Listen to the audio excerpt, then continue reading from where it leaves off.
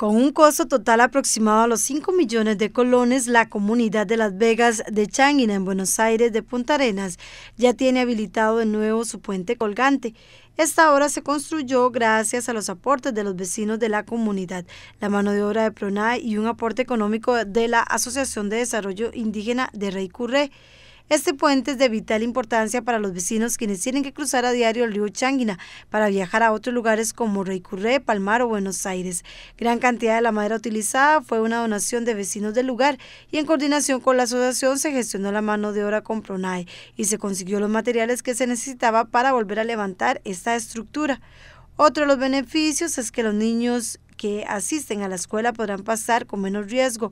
Los vecinos de esta comunidad están agradecidos con quienes hicieron posible esta reconstrucción que había sido destruido por los efectos del huracán ETA.